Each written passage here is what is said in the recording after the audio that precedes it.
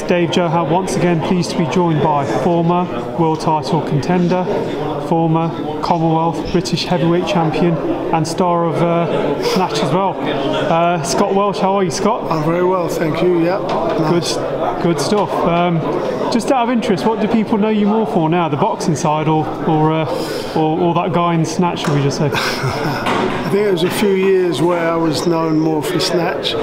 I think it's kind of evening out again now. So good stuff. So you're training your son and Idris Virgo as well over yeah. in over in Brighton.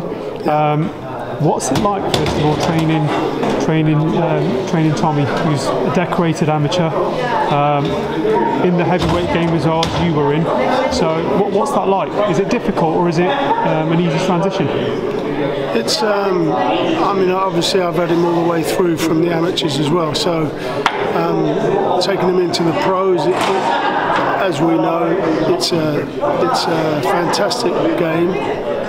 It's an incredibly dangerous game, and uh, and um, so we have to under, fully understand what we're doing to, to take my son in there. You know, so which I do and, um, and we know all the risks and we've looked at everything and we've both decided yeah this is a route you want to go okay but I have to be I have to be a, your trainer rather than a father figure so um, and that's important that, that, that, that's a really important thing I think uh, you know, you, we just spoke about Ricky tonight. Obviously, Ricky's got his son, and it's uh, it's, it's very hard to train the son, you know.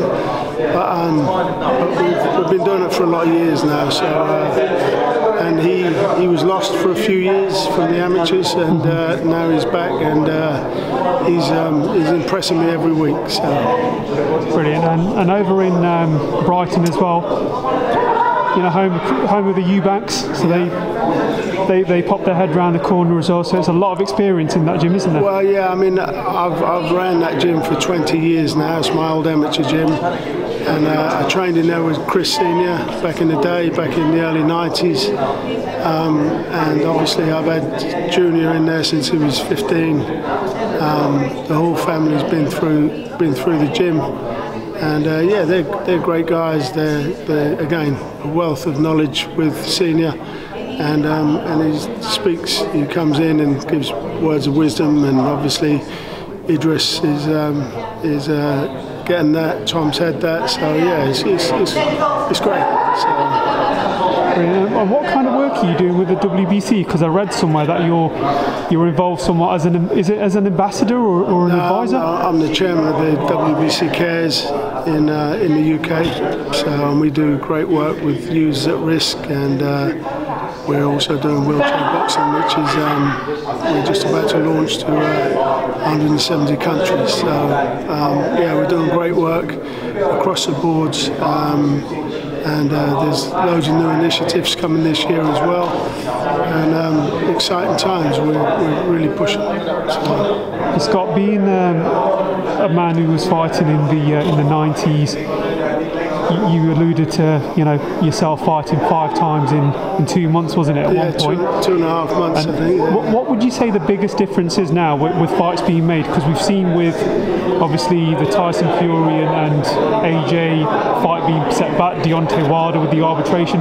Would this kind of stuff have happened back in the 90s and, and, and, and the early 2000s? I think, I think in my day, you you didn't really have too much of a say. You know, they'd tell you you're going to fight this guy and you'd, you'd fight this guy. So um, I think now there's there's it seems that there's a lot more. Um, obviously, TV and the money makes you know. I mean, the, the shows that Eddie's putting on are absolutely unbelievable. So I think it's just the scale of everything. I think there's not enough fighters anymore, so there's not enough people in the game, the, bo- the actual boxers. So it's harder for them, and, and obviously they they don't need to fight, or they don't want to fight each other. Uh, they had to fight each other back in the day, you know. So it's, it's been a dangerous game. I think we've learned from a lot of mistakes in the past. I think too many people have been damaged. Yeah. Too many too many injuries. Too many deaths, and I think we understand that now, and we try and, in, in a roundabout way, I think we're doing it to try and do the right things and not to limit them numbers. We're, you know, we're always going to get them. That's the game we're in. We have to accept that. Otherwise, we don't come in the game. So we know the dangers. We come into the game. Um, but we, we, you know, we've just got to kind of get through it. Um, and I think there's an easier route now. I don't think these guys need to put their lives on the line every time, you know. So that's where I believe we are. And just very finally as well, as, as someone who's been in the pro game for a, for a long time, a professional trainer, someone who's involved in the WBC, what are your thoughts of kind of like YouTubers having professional fights and challenging pro athletes and stuff? Do you think there's a there's a need for that, or do you think do you think it's kind of like a niche thing that might go away? I think they're here. I think they're. I think they're going to stay for a while. Um, you know, there's too much money out there. These guys are earning millions and millions. So um, it's going to be hard. It's going to be hard because these guys seem to be kind of getting hold of the game and kind of doing what they want to do. You know, so you've got the comebacks from the from the older champs. They're all coming back. I think the numbers now, the world's a smaller place. So when you do something now, the whole world gets involved and, and, and sees it. Whereas before it used to be like England or America. Now the whole world's coming in and, and the scale of everything is just astronomical. Brilliant. Scott, thank you from the boxing voice. And uh, have you got any predictions for, for Saturday night? How's, uh, how's Tommy going to get on? Um, I believe we will win.